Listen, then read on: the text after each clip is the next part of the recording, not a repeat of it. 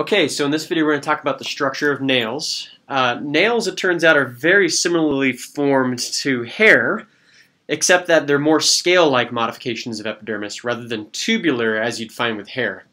However, what is similar between nails and hair is that they're both made of hard keratin.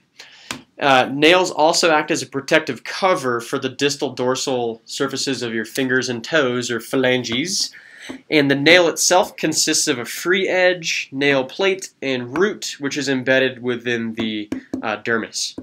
Now, the nail bed is actually an extension of uh, epidermis that you find uh, underneath the keratinized nail plate itself. And the nail matrix is the thickened portion of the bed that's responsible for nail growth, just like the hair matrix was involved with hair growth.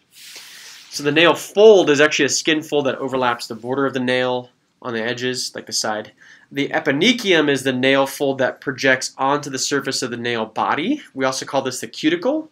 This is the portion of epidermis you'd find kind of proximally on the nail that hangs over on the proximal surface of that nail itself. Um, the nails are normally appear pink because of underlying capillaries. In the lunules is a thickened nail matrix that appears kind of whitish on the proximal end of your nail. Now, abnormal color and shape of the nails can be an indicator of disease. Uh, it can be an indicator of cardiovascular disease because nails need to be nourished by blood vessels. Abnormal nail growth can also occur with certain hormonal disturbances or even nutritional deficiencies. So, uh, what's fascinating is you, you, can look at nail health as an indicator of, uh, you know, overall health.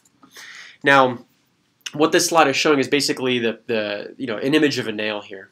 So this is the distal end of a finger or phalange. Uh, you'd find that here's the nail itself. We have the free edge, the body, and then the matrix, which would be deeper, or the root, root of the nail. Uh, we have the lateral nail folds on the side. We have the uh, eponychium or cuticle here on the proximal end. The lunule is kind of a thickened patch of matrix. And uh, if you look at a cross section here, you can see that um, you know it's superficial to the bone, subcutaneous tissue, and stratified squamous epithelium, but we would call this the nail bed. Um, all of this is the nail itself. See the free edge, the body, and the root. The root it can actually be traced back towards the matrix. Remember, the matrix is actually the, the site of new nail growth. So this is actually where the cells would divide and incorporate you know those dead keratinocytes full of hard keratin into the growing nail, which then pushes outward uh, more distally.